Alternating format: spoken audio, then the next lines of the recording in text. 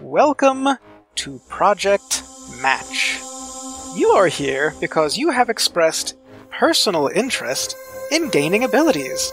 Some of you already have them. Some of you did not know that you already had them. Some of you did. Nonetheless, your cooperation will be appreciated and rewarded. Please stay tuned for further announcements.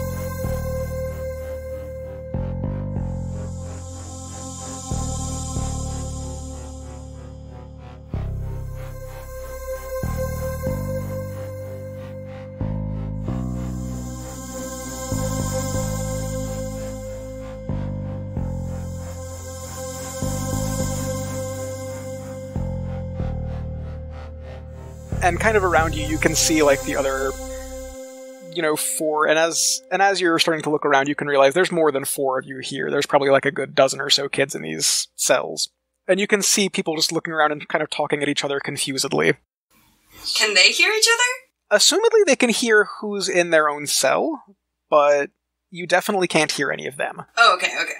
Well, I didn't know how many people were talking about it. Don't do that with the. That's bad. This is not good. Yeah, no, it's not. We're we're in a s- tricky situation for sure. No, I don't. Our have the name for the foster mom. mom is gonna be really mad. I don't remember her name right now. uh, it's okay it's a stressful situation We've only been there a couple months. so at this point uh, presley and paisley what do you do I would like to try to use one of my bonds, but uh, I'm not quite sure how to how to activate that. yeah go for it what is it Uh, four eyes are better when you and your other half assess a situation from two different vantage point. One makes a move, and the other may clear a condition or ask a question. Okay, so you just have to figure out some way that each of you can get a unique vantage point on this uh, particular situation. It doesn't have to be. It doesn't even have to be physically. It just has to be a different point of view. Can I suggest on this, or does she have to figure? Yeah, yeah, go for it. Well, what if one of us was looking around the room and the other one was looking out into the hallway? That sounds fine. Yeah. So I will. I think that you would be the one who would be looking out into, or I would be the one looking out into the hallway, which would make you the one looking around the room. Okay. Yeah, that's fine with me.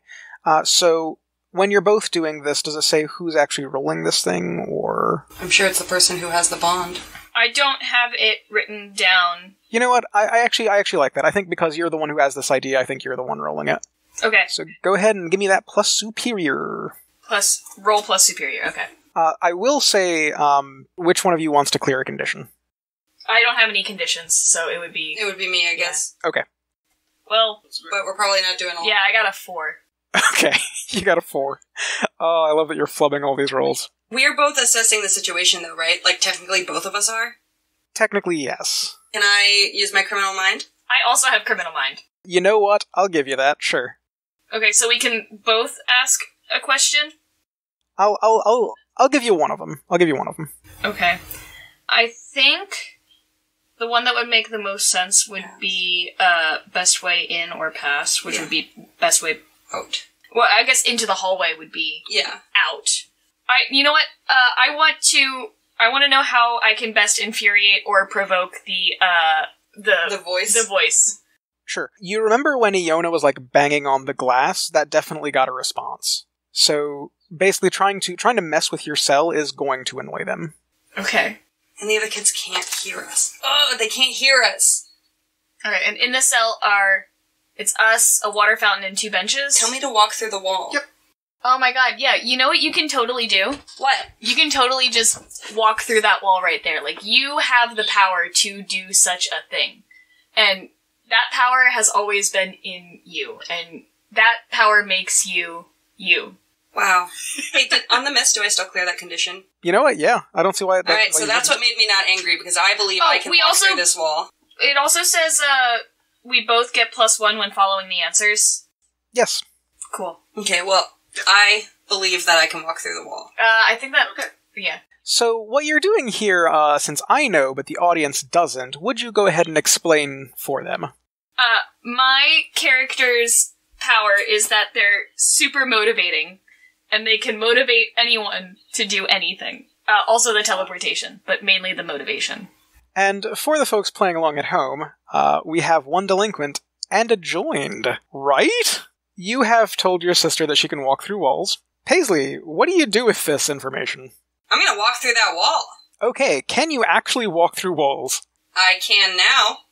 You believe you can. Does this power give them the ability to do it? Yes, her power does. It gives us the ability to do the thing.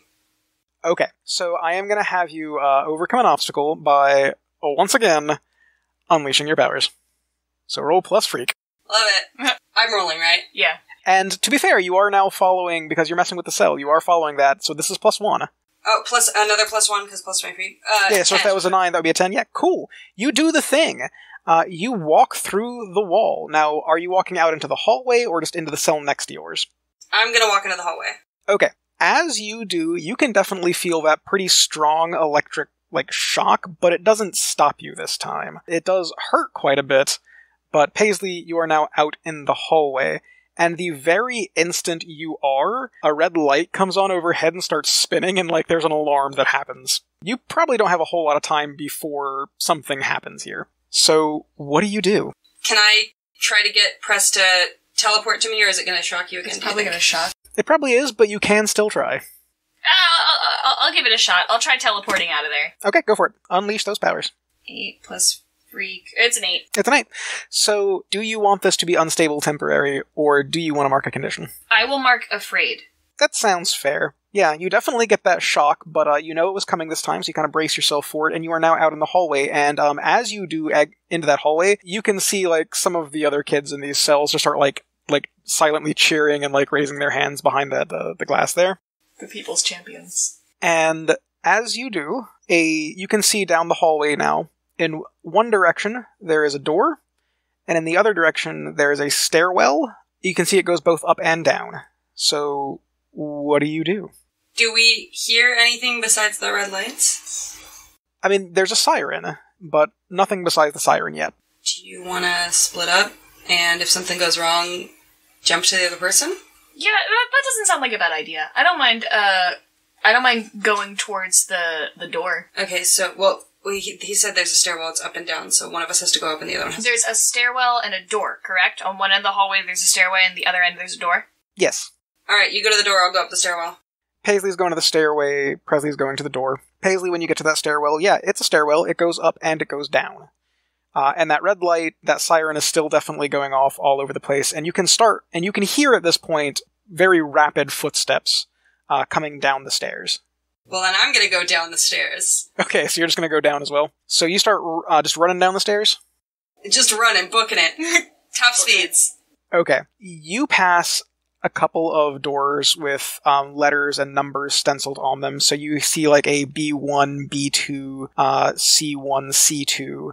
And then you get to the bottom of the stairway where there is a big set of double like like surgical doors. You are now four flights down from where you started, and we'll get to what you do in just a second. Presley, you get to that door at the end of the hallway, and there is one of those big round like porthole windows in it uh, and there is like a like a hand lever kind of kind of a knob there.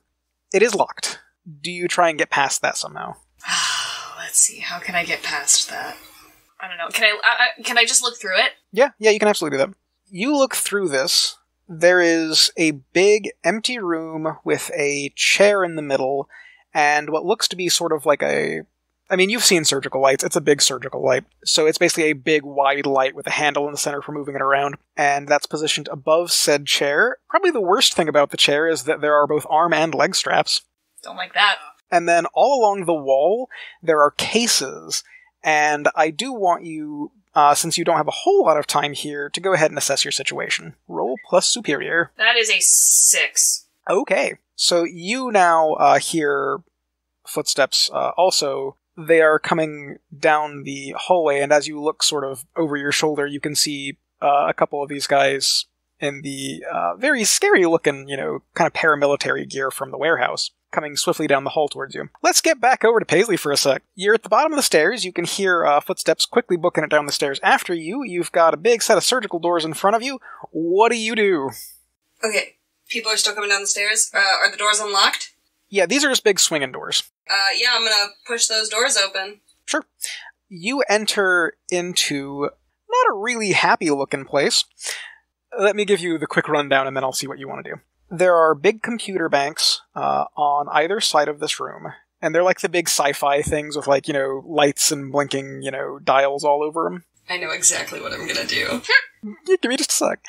There's a big control console, and behind that are sitting uh, a couple of people in white lab coats. And all of these, uh, all of these people, when you enter the room, kind of like start pushing buttons on the uh, control console. And behind them are probably five or six big person-sized tube tanks with what look to be people in them, unconscious, just floating in liquid. So, Paisley, what do you do? Uh, I'm gonna use my my sweet, sweet melodious voice, and I'm gonna shout at these little white coats, and I'm gonna say, "You're gonna open up all those gates upstairs." Oh, I like that. You know, you know, normally this would be a provoke someone, but you're using your abilities to do this. You're using your superpowers to do this. So I think in this case, you are unleashing your powers. All right. Well, well, actually, actually, sorry, question. Because this is a this is a meth- this is a question of intent. Are you intending to do them harm? I'm intending for them to do what I say. But are you intending for harm to come to them at some point? Mm, uh, wait, at some point, or like because of this? Because because of this, no. I just want. Okay, that's fine. That's fine. That's what I'm looking for. Go ahead and unleash your powers. Okay. Um. So I rolled a nine plus what? Ten. Nice. Uh, so they kind of stop halfway what they're doing, and then just as one, they sort of look down and start like you know typing uh, commands in.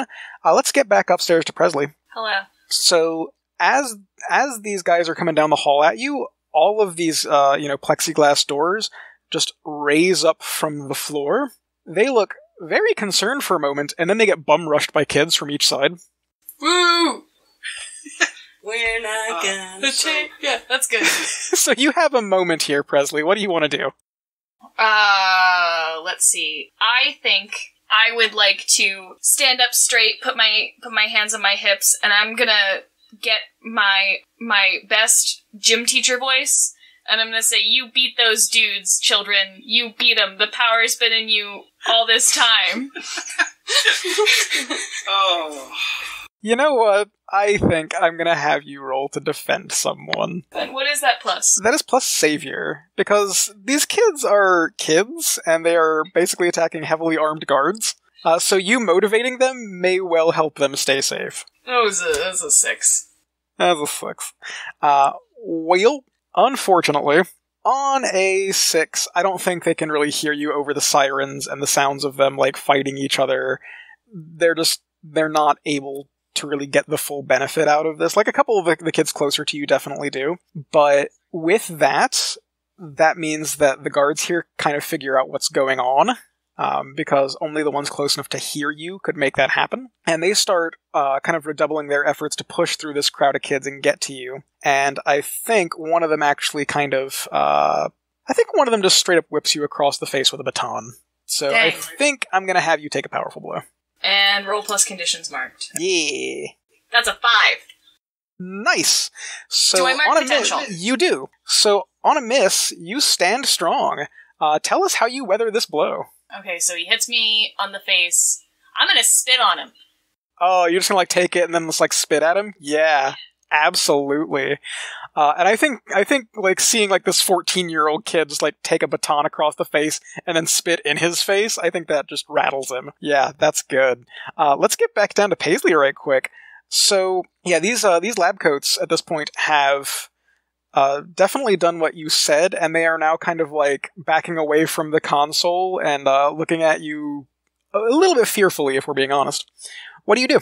I think you guys need to go to sleep. Sure, I'm not going to make you roll for that at that point. I think you've already got it in you. Uh, they just move over to the corner and then like lay down in a pile of uh of of scientists. Scientist cuddle time. scientist, scientist cuddle pile. And yeah, within a few seconds, they're just snoozling away as scientists do. Dreaming of beakers. So at that point, Paisley, what you doing? Um. Okay. So, can you describe the room to me one more time? Sure. So on either wall, uh, as you walk in to your left and your right, there are big banks of computers, big, uh, you know, capital S science computers. Uh, in the middle, sort of situated to be able to view this door, is a big control console. And then behind that console are, let's say, five big person sized tanks, and each one of them has a person in them. They're like full of liquid, and they are definitely just unconscious floating in this liquid. Are the people children? They they look to be youngish, yeah. Uh, are there any, like, dead giveaway, press me and release the children buttons? There are not. Do they look like they're on life support? Uh, no, they. You can see them if you take a minute to to actually watch. You can see that they are all breathing. So whatever this liquid is, they are able to breathe it, um, but they are unconscious.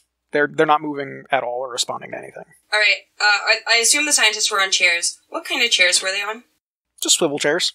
Okay. Can I try to break one of the tubes? Yeah. So I'm gonna have you pick me a number one through five.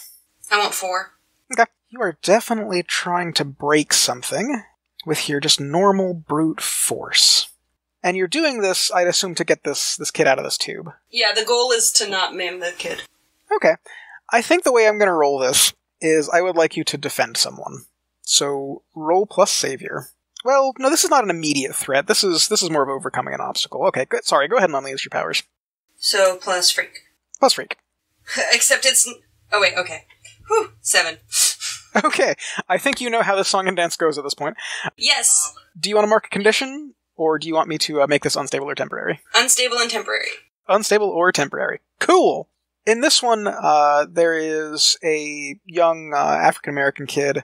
Now, it is worth noting that all of these kids are wearing basically like black kind of jumpsuit things that end at the shoulder and like halfway down the hip. And they're not hooked to anything, but all of them is missing at least part of one limb. And this kid looks to have part of his left arm from like the elbow down just missing. As you hit this with the chair, it probably takes you three or four times uh, to get it to start cracking, and you can tell this is going to take a minute. Um, so, in that minute, let's get back on up to Presley. So, this this hallway battle is kind of kind of rolling. Every so often, more people will kind of funnel in from the direction of the stairwell. They are now trying to quell a riot, and some and every so often, the guys in the suits will you know get a couple of kids into a cell it'll slam down almost immediately.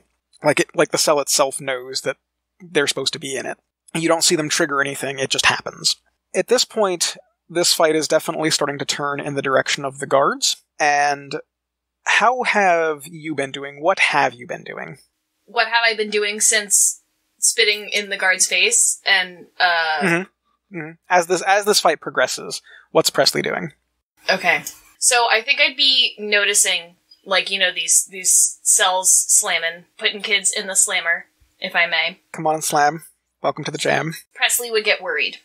And uh, Presley would probably start to notice that they're losing. Uh, so I think they're probably gonna try to teleport to their sister.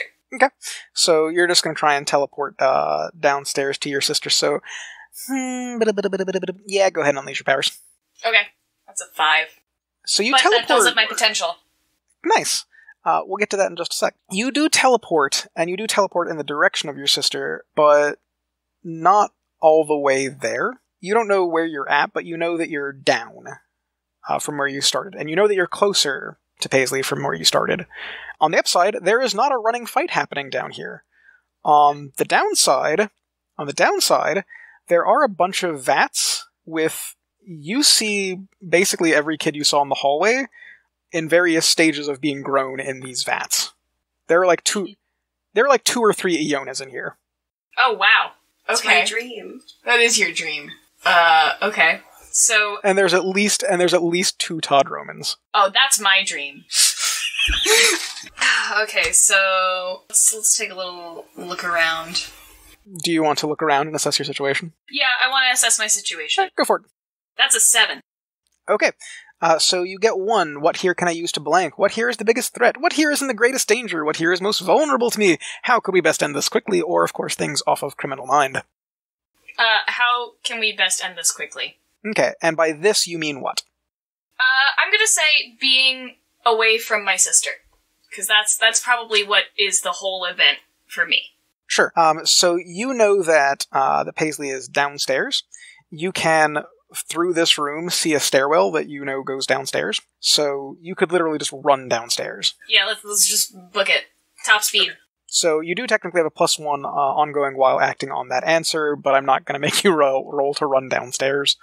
Uh, so you are running downstairs, and as you start running downstairs, you can hear this like chunk, chunk, chunk kind of sound. And uh, as you kind of clear the bottom of the stairs, you see this big room with computer banks on each side uh, and a big console in the middle, and you see your sister just like repeatedly slamming a rolling chair into this big vat with a young kid in it who is missing like half of his arm. And I think it shatters as you as you get to the bottom of the stairs. And you have this moment uh, where by this point the sirens have been off and you don't know how long they've been off for. The red lights are still spinning, which is weird but you have this moment where you can kind of see each other across this room and it is just dead silent. And what does that panel look like? Well, I guess I'm not. Do you still have a condition marked? Um, yes, you have to clear conditions by doing like specific things. Yeah, I know, but what Yeah. condition do you have? I have afraid, which is uh engaging threats. No. I'm gonna. I, I, I feel like Paisley is gonna like look a little embarrassed for just a second before looking determined and pissed off. Like just like a little flash of embarrassment, and then she's like, "No." I want to hug my sister. Okay. So there's that kind of like moment of uh, of embarrassment, and then Presley just runs across the room and like grabs uh, grabs Paisley. I hug her back. And this is the point at which this either gets better or worse. And I'm going to let you decide which. Because you hear a very familiar musical intro uh, over those P- uh, PA speakers. It's the first few bars of a song, the pretty familiar strains of a song that was released uh, at this point about 10 years ago in 2009 by an artist named Kesha. It is the opening chords of Tick Tock. This slaps. And that's actually where we end that particular issue.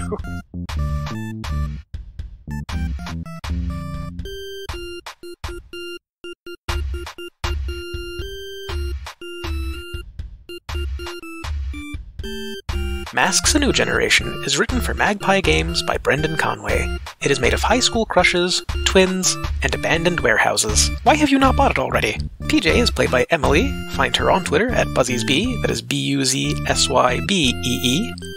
Presley is played by Lenny. Find her on Twitter at 1 800 Todd. Apex City is GM'd by Jeremy, who also writes the music and edits this podcast. Our album art was provided by Ash Brandt. Find them on Twitter at cinder underscore Brandt, on Instagram at Brandt.ash, and on Tumblr at Kimmins. Find us on Stitcher, iTunes, Spotify, or wherever fine podcasts are sold. Follow us on Twitter at Apex City Cast. Thank you for listening, and we'll see you next issue.